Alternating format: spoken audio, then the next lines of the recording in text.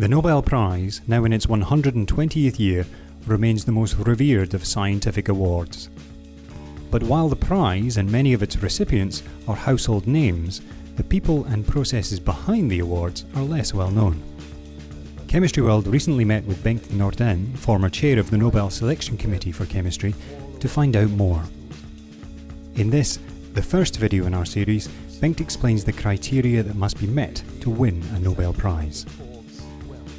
If we should look upon what uh, people, um, chemists, uh, are curious about, uh, what happens on the other side of the curtains, uh, is of course uh, on what criteria are people selected for a prize. Mm. And um, this is something we can be open with, but many people do not know. They think that it's a, a, a lifespan achievement, which is not the case. Um, we used to uh, use a few criteria like uh, the achievement should somehow uh, open a door should op or open our, our, eyes. We will see things in a different way. Okay, so there should be uh, a, a, substantial impact for the field of chemistry. Mm.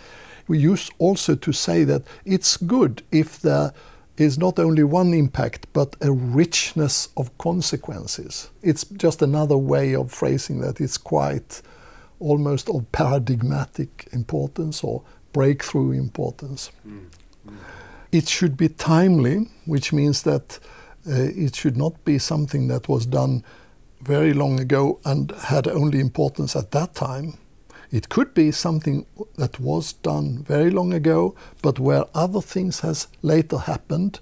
Preferably, there have been other discoveries as well, so you could share the prize with somebody way back and some younger person for something that has become very important now. Mm in the testimony of uh, uh, Alfred Nobel, it says that the discovery should be made during the year that passed. Mm. and uh, the, we, we are uh, again and again violating against this, okay, for two reasons, two very important reasons. One is that uh, things take time, that it takes time to, to get the consequences. Mm.